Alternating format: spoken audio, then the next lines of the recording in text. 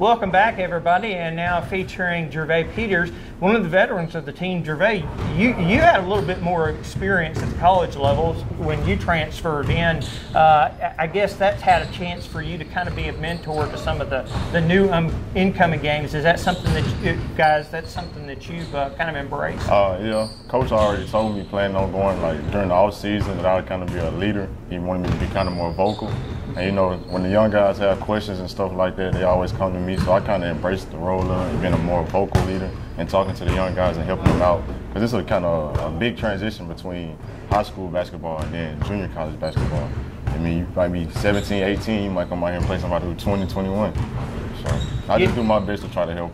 It's a it's a big also a big change for them to have to deal with a shot, Shot clock. mhm. So that's something that's really big, and I know you've been helping out with it.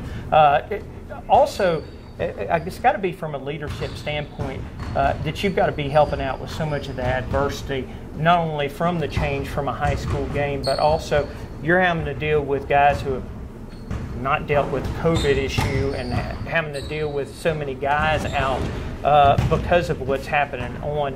Do you kind of uh, take a mentality of, hey, look, it's adversity. You guys are going to be Yeah, I kind of, especially with the COVID stuff, because you know we kind of dealt with it last year. Kind of mindset I have on it, just next man up. Everybody here, you? Know they got a role, and sometimes say like me, me and Cam had been dealing with COVID when they had played Tennessee Valley Prep.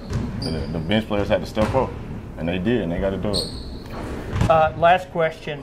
MMI, you're starting division play. And of course, we all know the season is really broken down into two seasons. There's non division play, which gets you prepped for this division play, which determines you know who's going to be going into the tournament, what seed. Uh, when you look at everything that you guys have faced, uh, how do you see everything right now going into this first game against MMI, who's actually at the top of the standings right now? Uh, although our record might not show, I'm still pretty confident in my team because we had to face a lot of adversity and uh, we had some challenges and bumps in the road. But I'd rather be with these guys than any other team in the state. And uh, I just feel like we got enough enough players, enough talent to get it done, and we're about to turn the season around. The last those challenges that you faced, it's obviously it's drawn y'all a lot closer together. Uh, I can see it in y'all's teamwork, and I know it, it's it's got to be something that happy as you as a team leader have got to have seen. Absolutely. Well, uh, congratulations on getting through all the adversity up to this point, Jervae. We wish you the best of luck against MMI.